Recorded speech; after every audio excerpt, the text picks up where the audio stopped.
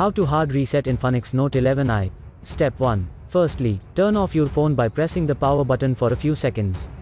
Step 2. Then push and hold down the volume up plus power key for a while. Step 3. Let go of the power button when the Infinix logo shows up. For further detailed guide, please check the link in the description, there you will find further steps on how to hard reset your smartphone. For further detailed guide, please check the link in the description, there you will find further steps on how to hard reset your smartphone. For further detailed guide, please check the link in the description, there you will find further steps on how to hard reset your smartphone.